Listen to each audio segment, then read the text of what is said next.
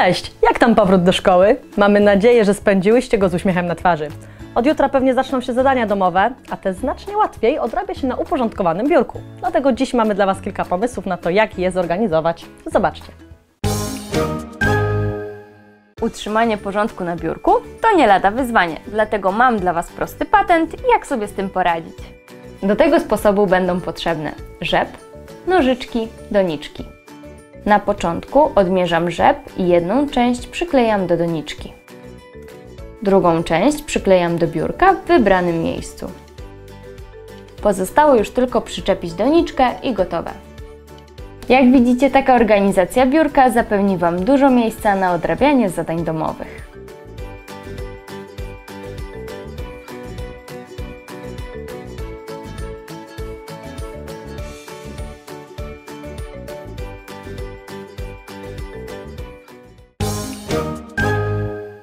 Ostatnio pokazywałam Wam, jak zrobić tablicę korkową z motywem jednorożca, a dziś zobaczycie, jak łatwo można zrobić organizer z tym samym sympatycznym motywem.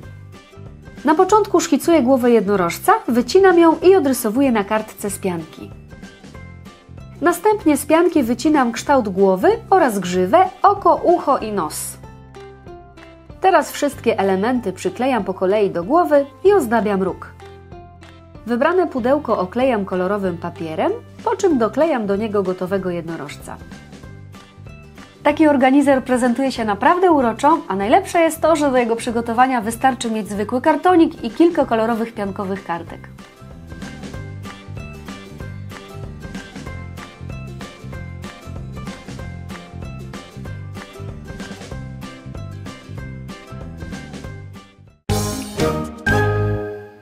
Każda dziewczyna lubi mieć ład i porządek w swoim pokoju. Dlatego pokażę Wam, jak wykonać organizer, do którego przyczepicie kartki z ważnymi dla Was informacjami. Na początku deskę o wymiarach 30 na 40 cm maluję bejcą. Jeśli macie większą deskę, w Castoramie dotną Wam ją na odpowiedni wymiar.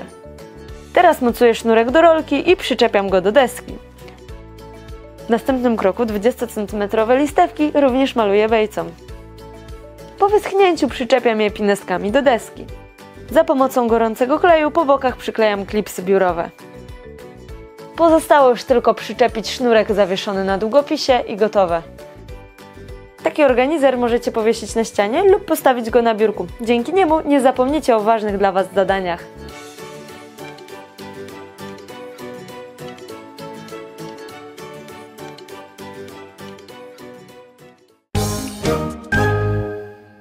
Jeżeli chcecie, aby na Waszym biurku zawsze panował ład i porządek, przyda Wam się mały śmietniczek. Zobaczcie, jak go zrobić. Na początku na kartce z bloku technicznego rysuję szablon śmietnika, który znajdziecie w opisie. Następnie wycinam i składam wszystkie elementy. Teraz sklejam boki śmietnika ze sobą. W kolejnym kroku wykałaczkę oklejam papierem i mocuję na szczytach śmietniczka. Następnie do powstałej poprzeczki przymocowuję daszek. Na końcu rysuję wesołą buźkę, doklejam język i gotowe. Taki mini śmietniczek na biurko jest bardzo prosty do zrobienia, a myślę, że będzie naprawdę ładną ozdobą biurka. No i przede wszystkim praktyczną.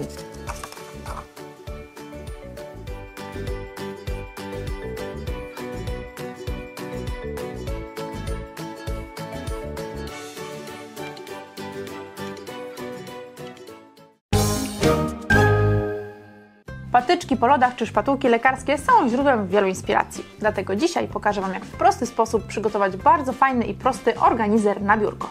Oglądajcie. Na początku robię podstawę i przykrycie organizera. Następnie do podstawy przyklejam naprzemiennie patyczki do wysokości, którą chcę uzyskać.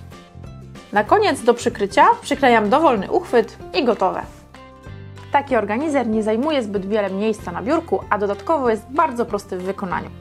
Jeśli chcecie, podpowiem Wam, że możecie pomalować patyczki w kolory, które będą pasowały do wystroju Waszego biurka.